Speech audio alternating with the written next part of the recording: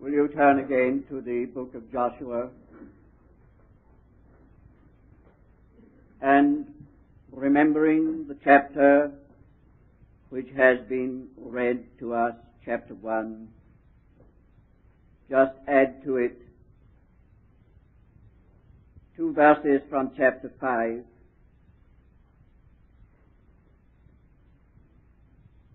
Verse 13. Came to pass when Joshua was by Jericho that he lifted up his eyes and looked, and behold, there stood a man over against him with his sword drawn in his hand. And Joshua went unto him and said unto him, Art thou for us or for our adversaries? And he said, Nay, but as prince of the host of the Lord am I now come. Joshua fell on his face to the earth and did worship and said unto him, What saith my Lord unto his servant? Prince of Jehovah's host said unto Joshua, Put off thy shoe from off thy feet, for the place whereon thou standest is holy ground. And Joshua did so. So today we are led to a fresh contemplation of the matter of the Holy Spirit, the people of God, and their inheritance.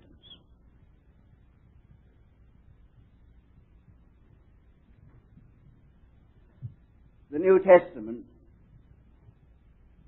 especially from and with the Gospel of John onward,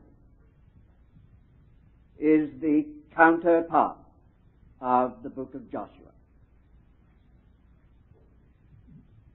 When you come to the end of the four Gospels,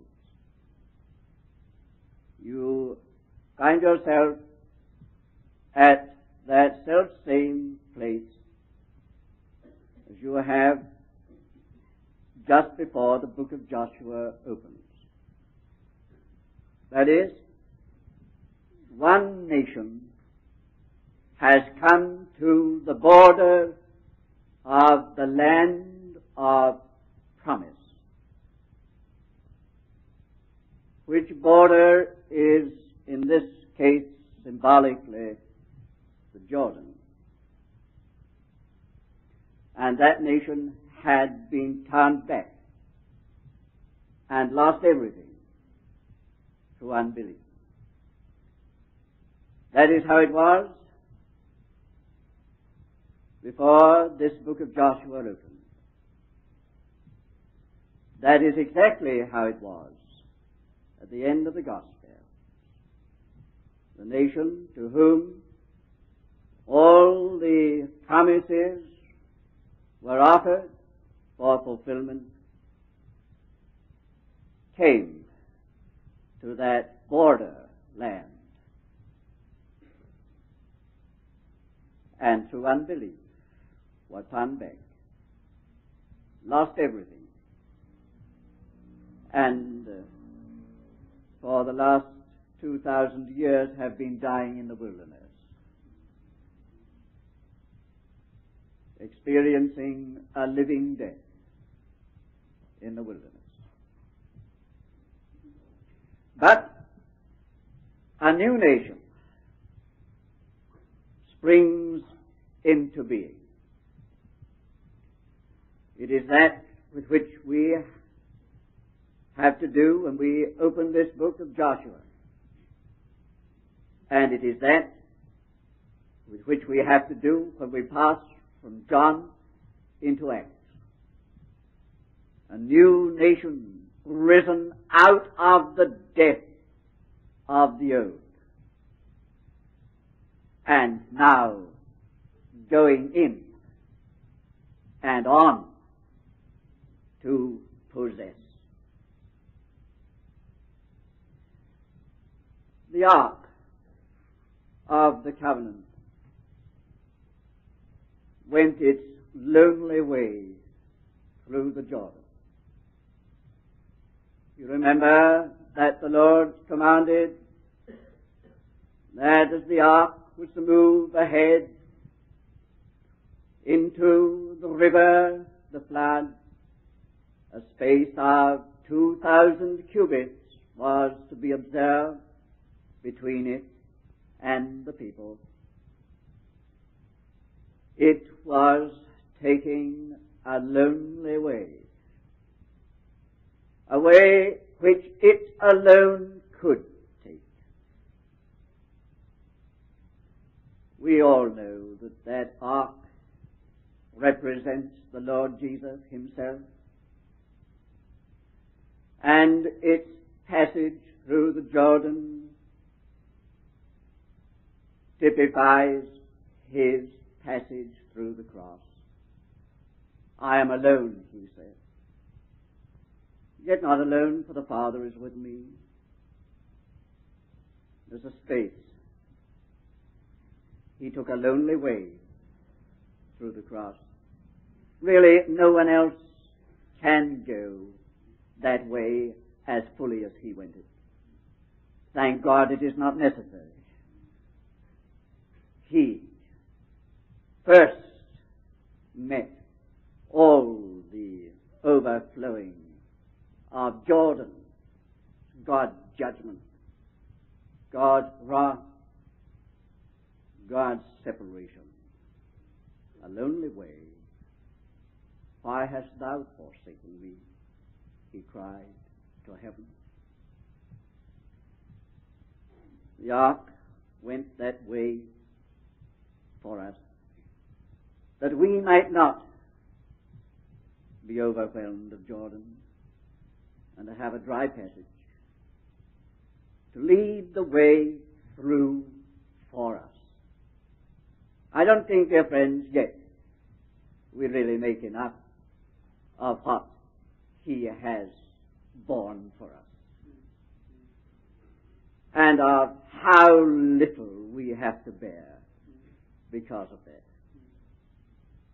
If we know something of the cross, if we know something of the fellowship of His suffering, we know nothing of the judgment of God that rested upon Him. None of it has to do with judgment. Not one whit. The ark went its lonely way to lead them through. So he, by the cross, has opened a way, a way into the inheritance. At that point, Joshua comes into view in full stature as representing or indicating the instrument of God for spiritual fullness. Few minutes on Joshua would be instructive in that light. You See, Joshua does stand for the mighty life and energy of the Holy Spirit. When the captain of Jehovah's host, the Holy Spirit, in figure there, joined himself with Joshua and joined Joshua with himself. All that issued and proceeded was by the energy of the Holy Spirit. It is all the Holy Spirit in charge and in action. Joshua of the Holy Spirit uniting himself with a vessel for the purposes of the inheritance. You remember when Joshua first came into view in Exodus chapter 17 in relation to Amalek? Amalek, the type of the flesh, coming out to thwart, to prevent, to straddle the path of Israel, that they should not come into the inheritance. Flesh always does that.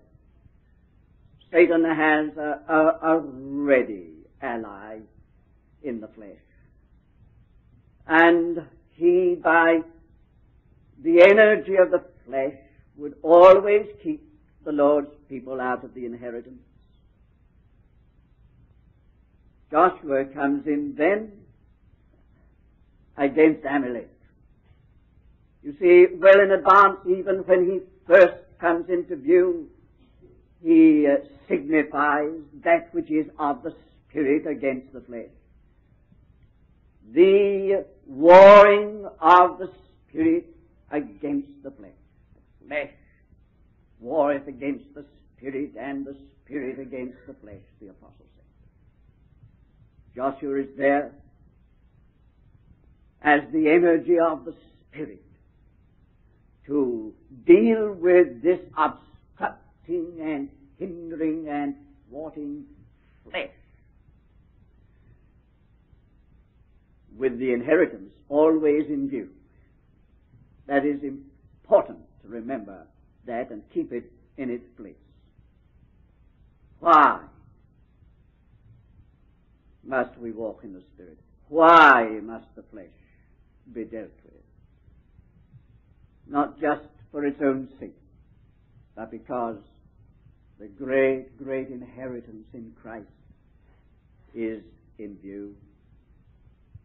In Exodus chapter 34, he is referred to on the next occasion.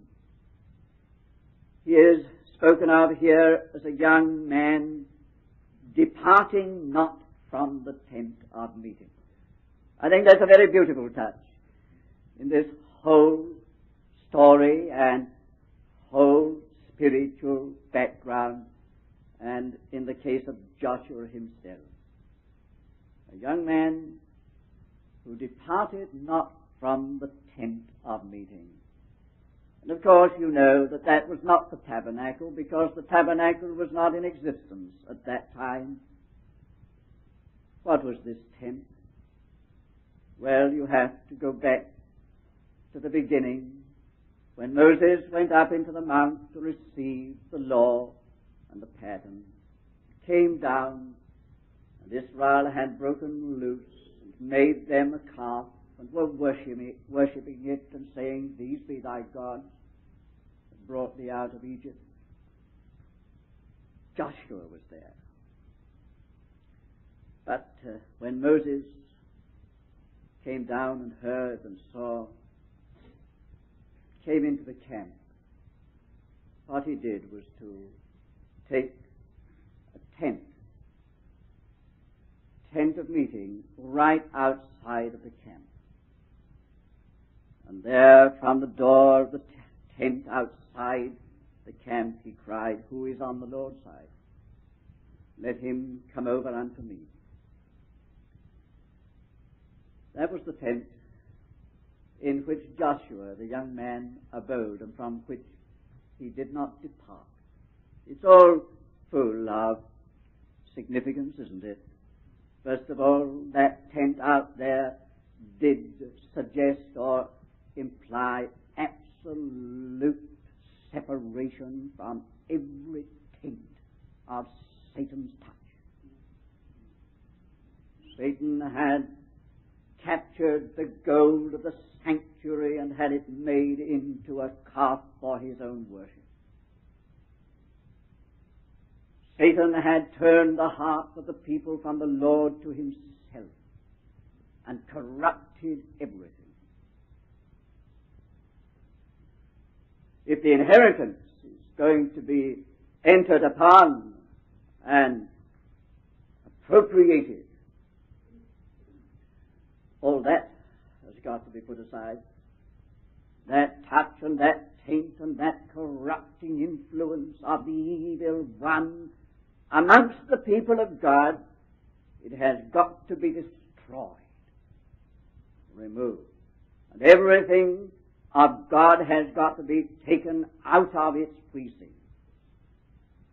Joshua, therefore, abiding and not departing from the tent, says so clearly, this man, this man of the Spirit, this man who is to bring into the inheritance by the energy of the Spirit, a man who abides beyond the taint and the touch of the powers of evil.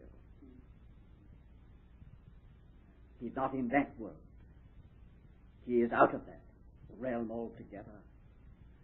He abides in the tent of meeting. I like to think that there was one man who was not a priest, and he was not Moses, just the man of the people who was allowed to dwell in the house of the Lord. But then it says Joshua was a young man.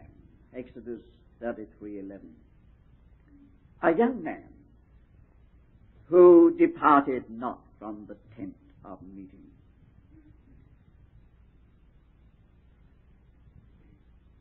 Speaking of freshness, freshness, with everything before, vision,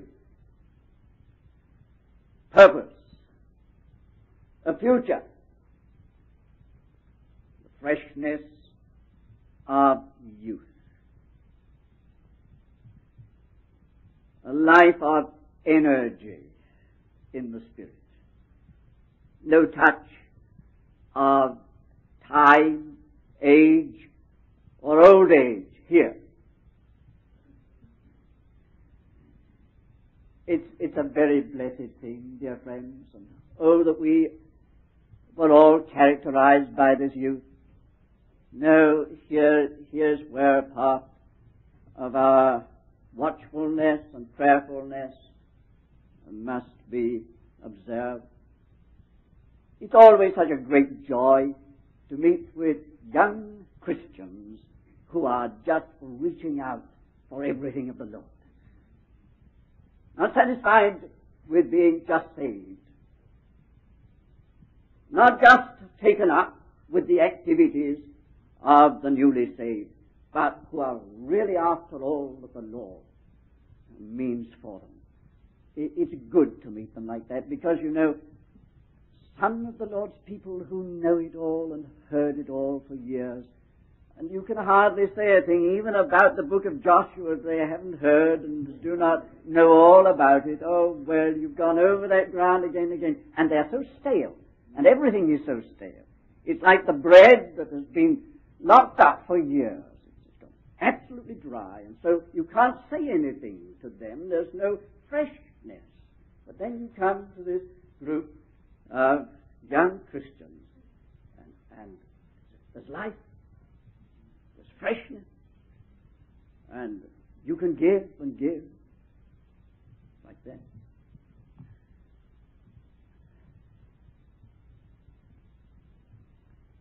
Now, that is not a matter of years. It's not a matter of years. That's a matter of spirit. It's a matter of spirit.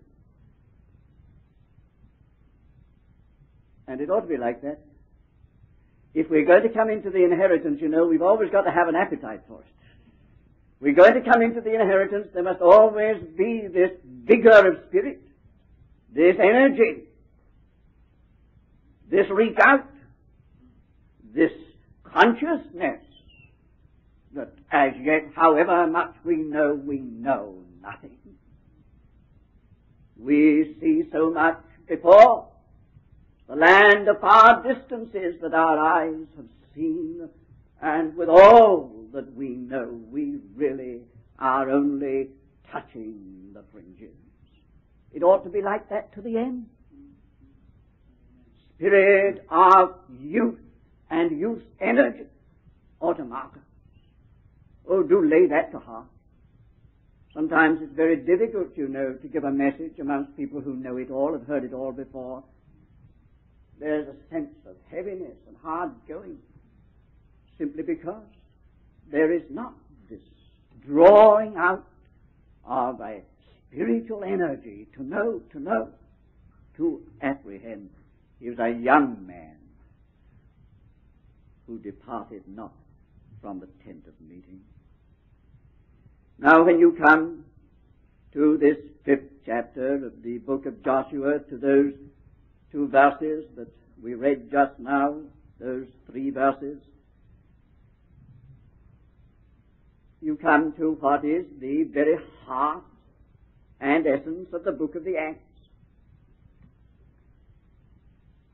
With the end of John, the land comes into view.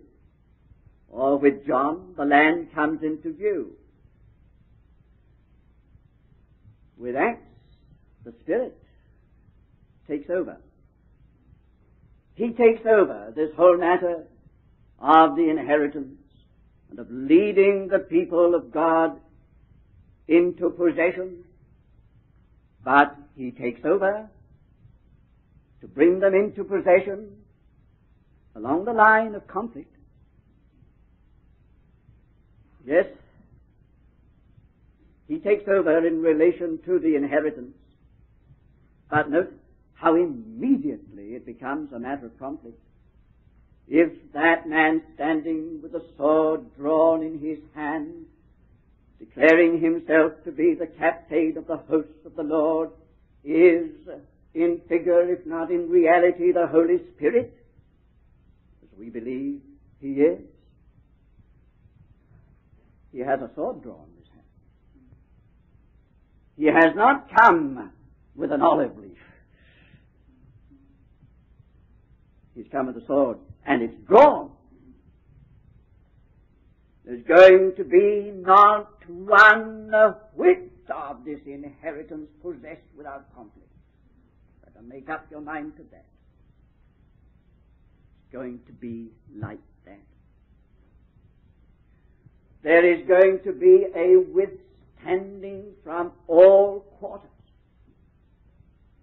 As soon as the matter of any spiritual increase comes into view, then strangely, sometimes mysteriously, a state of conflict arises.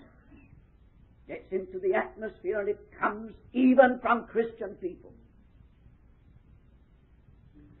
Be satisfied with what is called the simple evangel and simple evangelism and so on, and you meet no conflict. Everybody applauds and accepts and is on your side. But set your heart upon the whole purpose of God. You find yourself at once in a realm of terrible conflict. Satan is not going to allow this church to reach its determined destiny if he can prevent it. And every step is going to be challenged. Notice every place that the sole of your feet shall rest upon. Ah, what? Yes, I have given thee, but there'll be a battle over it. There'll be battle over your possessing what I have given you where even though God has predestined, predetermined, it's settled in the foreknowledge and forecounsels of God, it does not mean that we're going to come into it willy-nilly. With all the divine sovereignty, with all the divine power, and with all the divine wisdom associated with the purpose, strangely enough, there's a battle over every inch of it. Like that? in John, then Jesus said, when the Spirit of truth was come, he will guide you into all the truth. That's Joshua 5, 13 to 15. Spirit has come to guide them into the all truth. That is in Jesus. That is Joshua. When he came on the day of Pentecost, fulfilling the promise and words and explanation of the Lord Jesus, he came to guide the church right into its inheritance. Oh, I cannot be too emphatic about this because of these inadequate, if not wrong ideas about the Holy Spirit and Pentecost and so on. Let us understand, dear friends, that the Holy Spirit came for no less and no other purpose than to take the church right on into all its inheritance in Christ. And if our ideas of the Holy Spirit are not so poised and directed, we are in some way arresting, if not subverting, the very work of the Holy Spirit, purpose of His coming. Came in type in Joshua, in reality in Acts, for that one purpose. The church has got to be brought into that inheritance for which it has been eternally predestined by God. And this is going to be a conflict which will not end until the Lamb has overcome in finality. Well, in the book of the Acts, the Holy Spirit does take over in the matter of the inheritance. And he takes over for the conflict of the inheritance. And it is not very far into that book before you find the conflict is on. From Jerusalem, from Jewish leaders, there they are, they kill Stephen. From the world, the pagan rulers, there it is, conflict is on, but the mighty Spirit is with the church in the conflict. He has linked himself up with that instrument for the great purpose of God.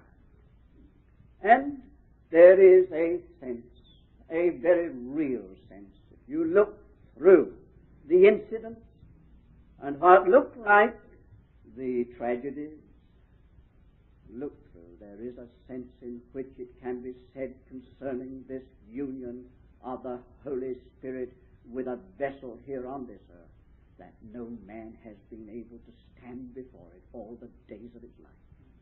There's a sense in which that is true. Being uh, withstanding from men and from devils. Awful withstanding, but the church has gone on. Testimony has never ceased in the earth. And even when sometimes it's seems to have been driven underground, it comes up again. Goes on. Well, Acts sees then the Holy Spirit coming, uniting himself with the instrument, the vessel, and the conflict arising. You pass over to the letter to the Hebrews, you find yourself in this battle, this battle for here in this letter to the Hebrews, it's all about the inheritance, as you know, spiritually. And the Spirit is here urging the church, urging the believers to go on, to go on, not to go back, not to stand still, but to go on. And there it is said Joshua did not bring them into the rest. It was type, it was figure, that that final fullness of Christ never was entered into under Joshua but Jesus. And the Holy Spirit, they are going to bring the church into the final fullness. But when you come to the book of the Revelation. This whole issue of the inheritance seems to change a bit, resolved itself into a matter of overcomers now. Here, whatever date you put the book of the Revelation, make it the whole dispensation, or the end of the dispensation, the situation that you find is that the church as a whole has not gone on. It has not gone on. Very large proportion of the church have either declined, fallen back or away, or have stood still in this matter. Perhaps the conflict has been too fierce, the cost too great, the world too attractive, sin too subtle. But there it is. As you find at the end of the book of Joshua, the enemy was not finally cast out. You had the tragedy of the book of Judges. So in the last book of the Revelation of the Bible, the book of the Revelation, the enemy has not been fully and finally worsted and cast out. He still has territory amidst the people of God. So there arises the whole question of the overcomer. The overcomer, company or body, is that which will go on, will satisfy the Lord. The whole matter of his food.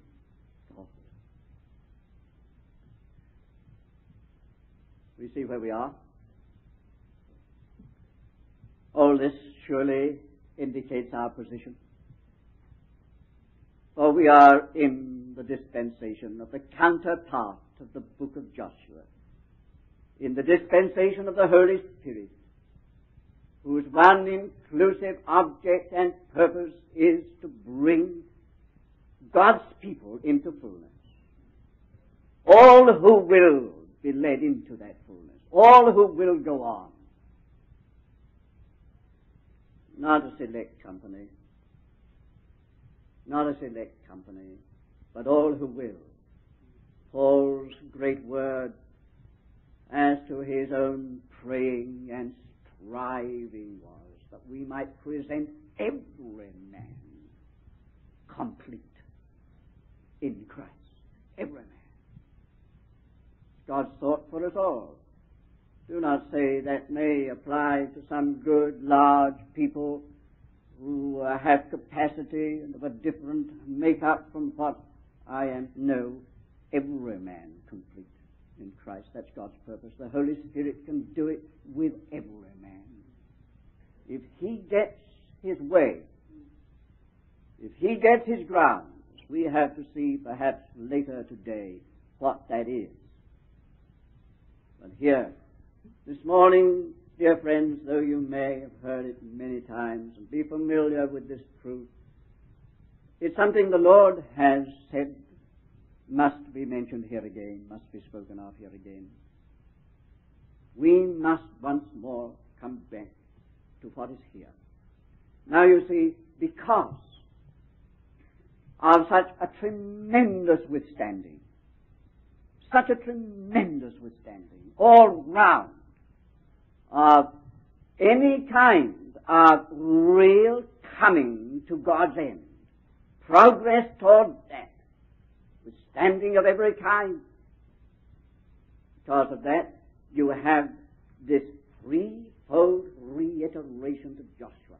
Be strong and of a good courage. Be strong. Be strong.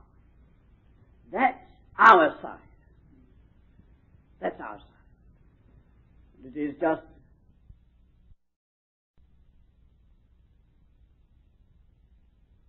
That's our. It is just that, that very connection that Paul uses those words. He is bringing into view fully the forces, the cosmic forces which are set against the church and its inheritance, the principalities and powers. He said, be strong. in the Lord. Be strong. Be strong. There must be no weakening. There must be no letting go. The discouragements will be many. The heartbreaks will be many. Perhaps the disappointments will be many. Situation will sometimes seem to be impossible, the prospect a hopeless one, but you and I have got to heed this word because so much hangs upon it. So much hangs upon it. For ourselves, for ourselves, the inheritance in fullness hangs upon this be strong. No weakening, no letting go, no letting down. But it may be, you see, that those who will be strong may be a strength to others. And therefore, others are a responsibility upon us to be strong. It's not only for ourselves, but it is vocational to be strong. And then, I am with thee.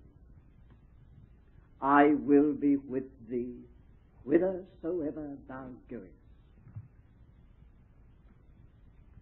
Don't take that out of its context. You can't be sure of that if you cut it from its context. The context is the whithersoever thou goest must be in relation to God's full purpose. He cannot be with you on any other ground. You cannot count on that promise. Otherwise, it will not prove true unless you're right on the line of His full purpose. Then He is with us whithersoever we go. Commits Himself. I will be with thee. I am with thee. But you notice that that is said twice over in this first chapter in a twofold connection. Firstly, it is in connection with leading this people over. The responsibility of spiritual leadership. Spiritual leadership. I emphasize and underline that word spiritual. Don't think of leadership as official. Leadership is not official. You are not made a leader. You are not appointed a leader. You are not given a badge with leader on it, or a uniform, or a dress. You are a leader, or you are not. It's a matter of your spiritual quality and strength. And spiritual leadership means that you are exercising an influence on others to bring them on, to lead them on into God's full intention for His people. That that is the effect of your life. Others are, because of you, being drawn on, helped on, led on.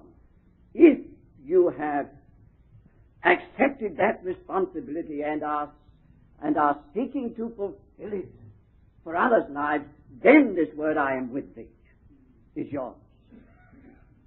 But then you notice in the second case, this word of the law shall not depart out of thy mouth.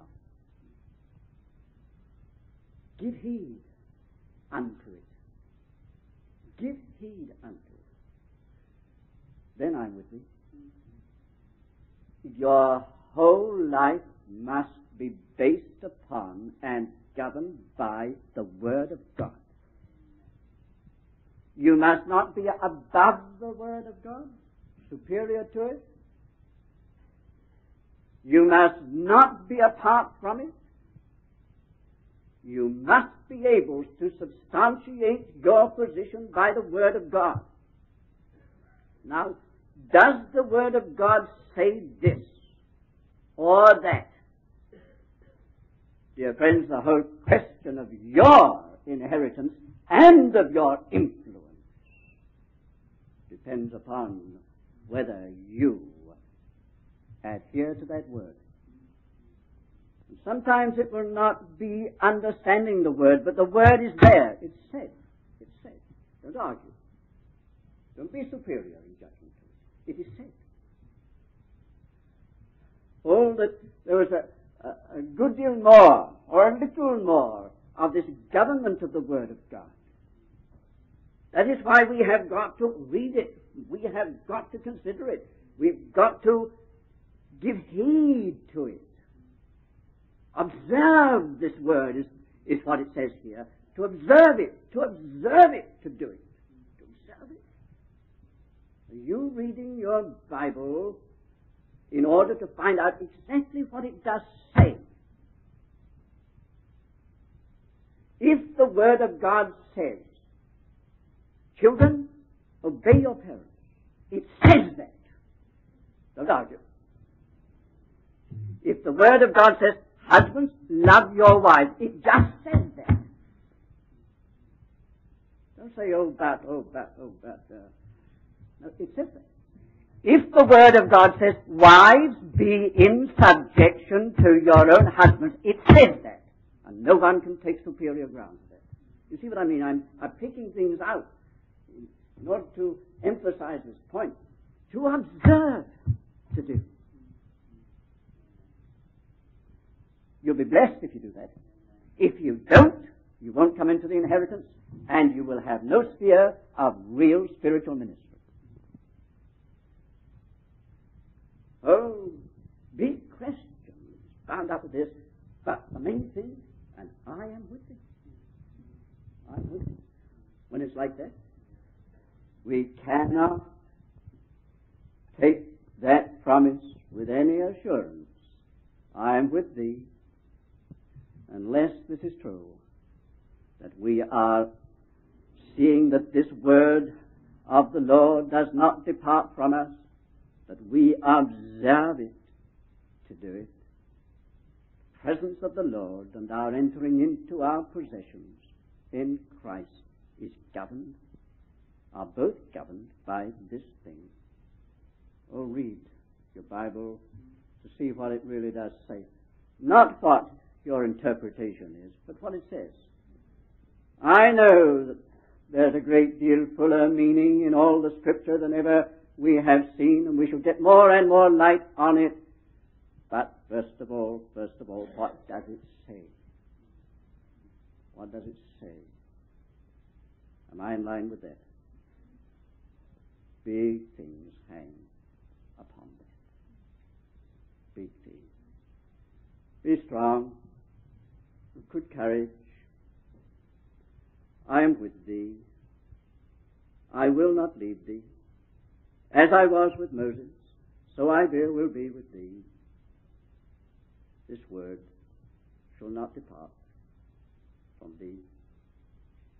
Observe it. And I think that's quite enough for us to face for the moment.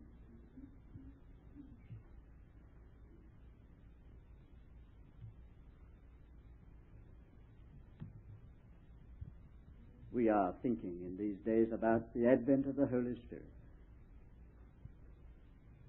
That is what is occupying us just now. This is why the Holy Spirit came. And this is the ground on which the Spirit is with us. And this is the purpose which the Holy Spirit has taken up in His coming. He has taken over. And in all the conflict and in all the suffering, He is sufficient to see us through.